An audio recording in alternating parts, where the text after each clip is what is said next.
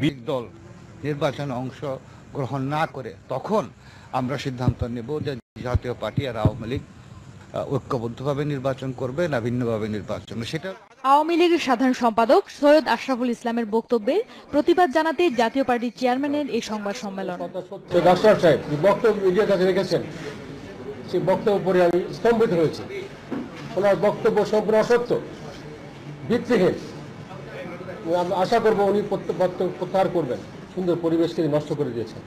আমি বারবার বলেছি চার বছরে বলছি জাতীয় বডি এককভাবে নির্বাচন করবে সেজন্য প্রস্তুতি নিচ্ছি। আমরা কারোর সঙ্গে জোটে নির্বাচন করব না। এরশাদ জানান অন্তর্বর্তী সরকারের প্রধান হবেন শেখ হাসিনা। দলীয় সরকারের অধীনে সুষ্ঠু নির্বাচন সম্ভব নয় বলেও মন্তব্য করেন তিনি। আমি বলেছিলাম যে বিএনপি ঘোষণা দিয়েছে আপনি প্রধানমন্ত্রী থাকলে ওনারা নির্বাচনে আসবেন না।